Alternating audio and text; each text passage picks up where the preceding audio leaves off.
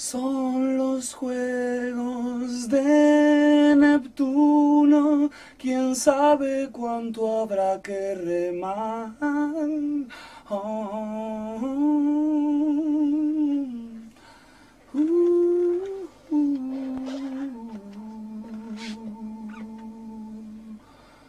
Son los juegos de